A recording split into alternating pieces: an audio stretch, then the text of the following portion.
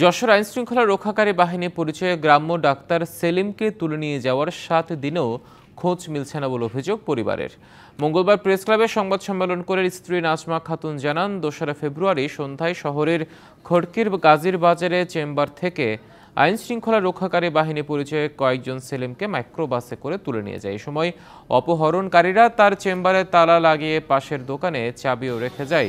সাত দিন পেরিয়ে গেলেও তার খোঁজ পাচ্ছে না পরিবার। এমনকি থানা র্যাব, পিবিআই এ যোগাযোগ করেও সন্ধান মেলেনি বলেও তারা জানান। সেলিমকে উদ্ধারের চেষ্টা চলছে বলে জানিয়েছে পুলিশ।